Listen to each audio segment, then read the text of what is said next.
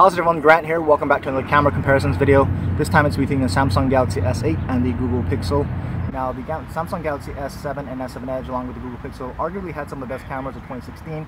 They pretty much still are the best cameras you can get in a smartphone today. The Galaxy S8 and S8 Plus were just released and Sony has put a slightly improved sensor with the same camera specs into the S8 and S8 Plus. Uh, they mainly have supposedly improved their software image processing. So we're going to test the S8 here against the Google Pixel here in 2017. Uh, this is the front-facing camera, obviously being shot at 1080p because that's the highest resolution that the Google Pixel will go. The Galaxy S8 can shoot up to 4K in the front-facing camera. Samsung has also added autofocus to its front-facing camera, and I can see that in action here on the S8, where I see a lot of focus hunting. Uh, so let me know if you see that here as well. But I'll be taking a lot of photos and videos like I usually do in both good light and low light hopefully gives you a better idea of how these cameras are performing in various different conditions. So let me know what you think and let's get on with the rest of the video. Okay everyone, so here we have some footage from the rear facing camera at 1080p 30 frames per second. So we're going to test out the zoom here, see how the zooms work. So it looks like Samsung goes all the way up to an 8 time digital zoom here. We'll pull back out. And the Google Pixel zoomed all the way in. We'll zoom back out. We'll do an autofocus test here. We'll try to get some focus on this branch. There you go. So they both kind of lock in pretty well. We'll focus away, back into the building. Focus back into the branch. There you go. And one more time. So autofocus is pretty good on both. We'll do a little panning around here in the park. And we'll test out some stabilization. We'll walk around here. Again, they're both mounted to my usual tripod mount here, so it should be fairly stable. And the Google Pixel is probably the most stable video I've tested on any smartphone camera. But take note of some of the color contrast here since we have a lot of greenery here in the park today.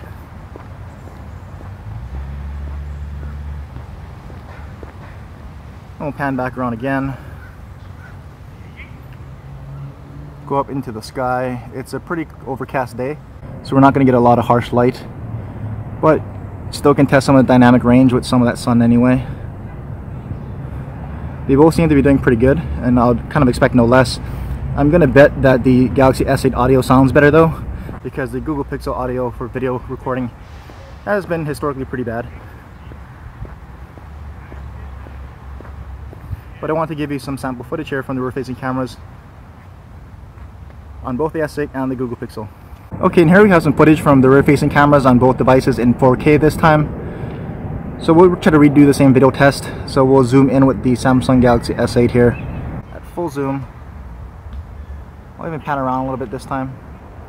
Looks a little bit grainy here in the viewfinder. Pull back out. This time we'll zoom in with the Google Pixel. So that's full zoom there and we'll move around. It looks a little bit clearer on the pixel but actually a little bit shakier. Maybe it'll stabilize in processing. And we'll zoom all the way back out. We'll do a focus test here. So we'll get on the branch focused up nicely. We'll go back to the building. Back into the branch. And back into the building. So focus is still pretty well in 4k we'll pan around a little bit.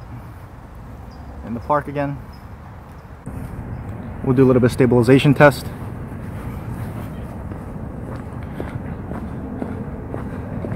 So the Google Pixel is probably the best stabilization that I've seen on any smartphone, even in 4K. I'm not sure if the S8 has any stabilization at 4K. I'm thinking not, so I'm anticipating the Google Pixel to look better, even though they're on the same mount here. And the Google Pixel looks looks a little bit shaky because a lot of that stabilization is in post and we'll just pan around here again. But I just want to give you a quick sample in 4K from both cameras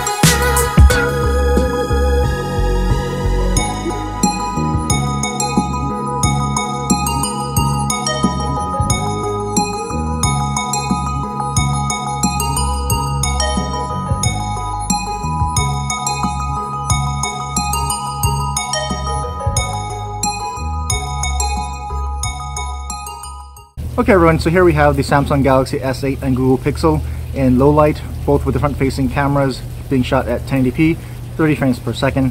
So I'll pan around a little bit so you can see some of the bright lights. And I'll aim them directly into the bright lights behind me so you can see how it handles any kind of lens flare. They're both looking pretty good here. And as usual, we have the usual fountain in the background. That'll help with judging the audio quality from both these phones with that in the background. And we'll do a little bit of walking and test the stabilization here. As always, they're both mounted to the same mount, so stabilization test should be fair. And testing out both these cameras, as you'd expect, they're both flagships. They're both pretty much two of the best smartphone cameras you can get on the market today. And testing them in both photos and videos, good light and in low light here, they're both looking really, really good. And this is a tough low light situation. If you watch any of my other camera comparison videos, uh, these lights behind me are very harsh and they're not obviously clear white light. They're a orangish yellowish tint and that usually casts a very um, yellow or orange tone over the picture quality of a lot of cameras. And so the Google Pixel here is not looking so orangish, but maybe a little bit noisy. So if you can see into the sky up there, it's trying to uh, brighten up the picture a lot and it gets a little bit noisy. While the Galaxy S8 is looking a lot crisper here although a little bit more of that orange tint but not nearly as much as some other cameras. Maybe go check out my Mate 9 video. That really looked very orangish. And so both cameras are performing very well here. This is a very difficult low light situation. And from what I can see at least in the viewfinder both cameras are doing it very well. The one thing of course is that the Google Pixel audio has not been performing well and it has not in any of my other camera tests. It's pretty poor for video quality audio. Um, and the S8 should be sounding a lot better. But other than that, the picture quality here is looking very good. And the photos and videos that have been coming out of both these cameras have been very good. But you tell me what you think. Here's a low light sample from the front facing cameras. And here's some rear facing footage from both cameras being shot at 1080p at 30 frames per second. This is obviously low light. Pretty late at night, about 10 p.m. And we'll do our usual test. We'll point it directly into that street light. So same thing handling the lens flare pretty well. There's really not too much to speak of. Although if you look up at that sky, there does seem to be quite a bit of noise on the Galaxy S8. A little bit of noise on the Google Pixel as well. I'm not sure if that's coming through once the video is offloaded, but that's what it looks like in the viewfinder. Pointing them at the of streetlights here. Again, handling lens flare very well, not too much, if any at all. You can see a little bit of a light ring on the Google Pixel there. As I pan across, you can see that light ring around the edges of the picture. So there still is some of that in the Google Pixel. I know Google promised a software update, but we all knew software update probably would not cure that. So the light rings are still present on the Google Pixel and Google Pixel XL. We'll pan around a bit here and do a little bit of walking and stabilization test at 1080p, 30 frames per second.